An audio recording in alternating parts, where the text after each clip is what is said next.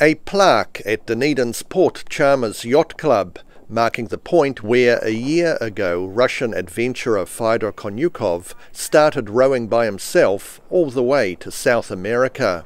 Fedor's achievement, which to me is one of the great endurance tests of uh, mankind, rowing from here 6,400 nautical miles across to Chile.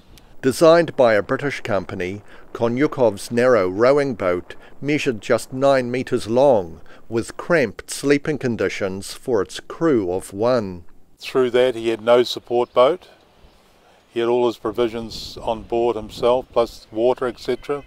His boat was rolled over many, many times in massive seas, 25 foot waves, etc., etc. So you can imagine um, what he went through. The epic journey is just the first leg of an attempt to circumnavigate the globe by rowing boat, with two legs still to go. But while waiting for the summer to come back to the Southern Ocean, the adventurer has already been working on breaking another world record. Presently, he is in the process of um, going up in a hot air balloon, which will go to the highest height ever by hot air balloon.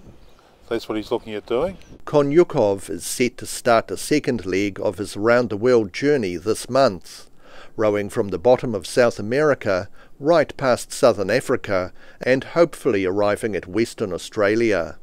Then he'll wait until next summer to tackle the third leg, with him rowing from Australia back to this plaque in Dunedin, marking where he started his adventure.